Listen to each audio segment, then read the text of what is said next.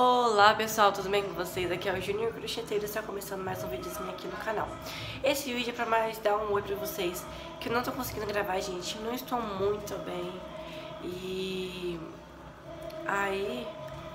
É... não tô muito bem. Sei lá, tô com mal-estar. E aí...